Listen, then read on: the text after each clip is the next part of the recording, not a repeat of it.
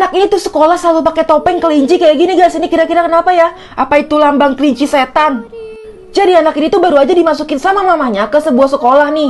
Gurunya juga sempat bingung. Nih anak kok pakai topeng ya? Tapi karena anak ini nggak mau sama sekali lepas, ya udah akhirnya dibiarin. Akhirnya masuk ke sini walaupun diketawain. Dan di belakangnya itu ada anak yang tukang bully, akhirnya dibisik-bisikin gitu, dijahat-jahatin.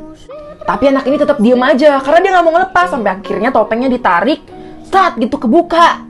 Ternyata bibirnya itu ada coret-coretan spidol permanen yang susah banget dihapus. Akhirnya teman sebelahnya itu ngeliat kan. Temennya yang sebelahnya ini akhirnya ngegambar juga kumis kayak gitu.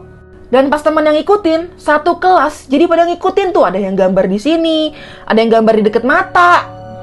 Ternyata anak ini tuh nggak pede tadi masuk sekolah gara-gara ya permanen tadi nggak bisa dihapus. Makanya dia pakai topeng-topengan kayak tadi dan sekarang temennya itu buat dia pede. Jadi ini bukan kelinci Gimana caranya kolam berenang sekotor ini yang sampai ada binatang-binatang kodok kayak gini jadi bersih kayak gini guys? Jadi proses pertamanya itu adalah menyedot air yang tersisa kayak gini pakai pompa. Sampai akhirnya yang tersisa itu alga-alga kayak gini yang akhirnya nanti dikerok-kerokin kayak gini.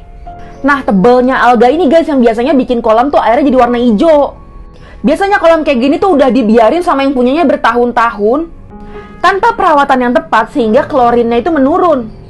Setelah itu hydrolic acid dicampur air, dimasukin ke mesin penyemprot yang tekanannya tinggi kayak gini guys. Jadinya ya kotorannya hilang semua. Nah baru tuh sisa-sisa dari kerak-keraknya itu disedotin kayak gini. Dan yang paling penting adalah membersihkan filter. Di dalam filter ini itu ada pasir-pasir kayak gini guys dan nanti pasirnya itu akan diganti sama pasir yang baru. Nah untuk maintenance-nya itu nggak lupa harus dikasih bubuk-bubuk kimia yang untuk meningkatkan klorin dalam air. Jadinya bersih deh kayak gini. Siapa bilang makanan jalanan India tuh kotor-kotor? Kalian belum lihat yang ini aja kali. Nah, mas-mas ini itu jual panipuri guys nih, ada mesin otomatisnya juga. Jadi itu semacam makanan ringan yang udah terkenal banget di India. Kalau kalian nonton film-film India, pasti pernah lihat deh makanan satu ini nih.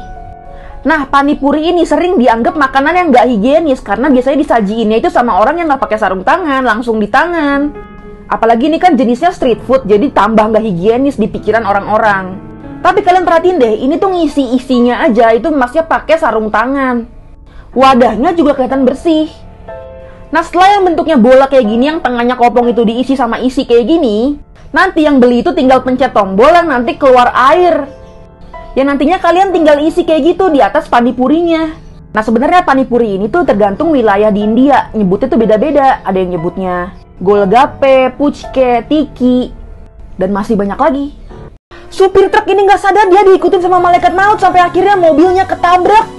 Akhirnya dia langsung dilarin ke rumah sakit kayak gini guys karena udah nggak sadarkan diri. Tapi di sini keadaannya masih hidup dia guys. Tapi malaikat maut nggak diem gitu aja kalian lihat deh. Dia diem-diem menyelinap masuk. Karena heran nih orang kok nggak mati-mati. Akhirnya dia mainin dong alat-alat jantungnya kayak gini. Dan bener aja tiba-tiba detak jantungnya itu nggak beraturan guys. Langsung buru-buru tiba-tiba dokter datang ke ruangan dia untuk bawa alat pacu jantung. Dicoba berkali-kali kayak gini, tapi akhirnya dia nggak selamat. Dokter akhirnya udah nyerah, dia udah meninggal dan akhirnya nyawanya dibawa nih. Tapi karena nutup pintunya kekencangan, akhirnya alat-alat itu jatuh. Malaikatnya itu udah mau bawa dia pergi pokoknya sampai akhirnya nih alatnya muter dan cairan ini jatuh ke mesin dan mengakibatkan dia kesetrum. Dan karena kesetrum tiba-tiba nyawanya balik lagi dong ke badannya dan akhirnya dia selamat nggak jadi mati. Jasa pembersih karpet yang satisfying banget guys kalian lihat deh. Ini warnanya tadinya gelap banget sampai kelihatan putih-putih. Nah ini akhirnya before after, before after. Pertama dicatat dulu nih sebenarnya karpet kalian itu kondisinya kayak gimana, keparahannya kayak gimana. Dan proses apa aja yang harus dilaluin.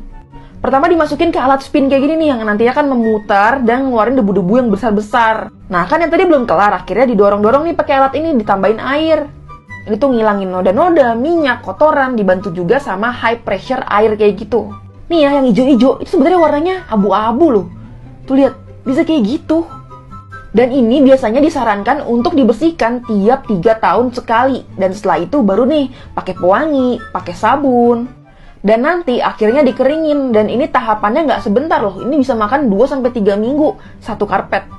Dan warnanya bisa dibenerin kayak gini kalau udah rusak.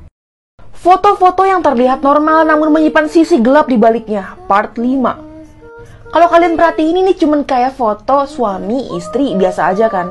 Tapi kalian perhatiin bener-bener di foto istrinya deh. Jadi wanita yang ada di foto ini aslinya udah meninggal. Foto ini diambil oleh suaminya dua hari setelah meninggalnya istrinya ini. Karena di abad 19 sampai 20-an dulu, itu dianggap berfoto sama orang yang sudah meninggal, terutama keluarga, itu hal yang wajar. Ini adalah foto Regina Kay Walters yang diambil oleh pembunuhnya beberapa saat sebelum dia dibunuh. Dan pembunuhnya ini seneng banget untuk memanfaatkan korbannya terlebih dahulu dengan cara didandanin, rambutnya dipotong, dipakein dress, dipakein sepatu, layaknya mau pergi ke pesta. Dan dia difoto dalam keadaan ketakutan kayak gini. Ginny Wiley dikurung sama orang tuanya selama 12 tahun tanpa keluar rumah sama sekali. Gak bisa ngomong normal, baca, apalagi nulis, dan berperilaku seperti binatang. Siapa yang pernah makanannya jatuh terus bilang, belum 5 menit ah, ambil lagi. Kalau di Indonesia sih terkenalnya belum 5 menit ya, tapi di luar negeri itu 5 detik justru. Atau nama lainnya 5 second rules. Survei dari 2000 orang, 79%-nya itu mengatakan kalau misalkan jatuh emang belum 5 detik, nggak masalah, mereka bakal ngambil lagi kok makanannya. Karena mereka nganggep masih bersih kok, tanggung. Tapi menurut sebuah penelitian di Amerika Serikat, makanan itu bisa langsung terkontaminasi bakteri walaupun jatuhnya cuma satu detik. Faktor kelembapan, jenis permukaan, durasi jatuhnya makanan itu semua berkontribusi terhadap kuman-kuman yang masuk. Yang nantinya bisa berakibat kepada penyakit-penyakit kayak diare, sakit perut, muntah-muntah. Dan bakteri-bakteri yang bisa masuk itu di antaranya kayak E. coli, salmonella, dan masih banyak lagi.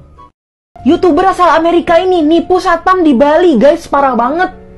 Jadi dua youtuber asal Amerika ini namanya Joseph Palerlin sama Silisha ini itu bikin konten gitu yang nantinya diupload ke Instagramnya. Jadi ceritanya mereka tuh mau masuk ke tempat belanja gitu di Bali, cuman nggak boleh masuk kalau nggak ada pakai masker kan. Silisha ini nggak pakai masker dan akhirnya maskernya digambar pakai face painting kayak gini nih, jadi kayak biru-biru pakai masker gitu.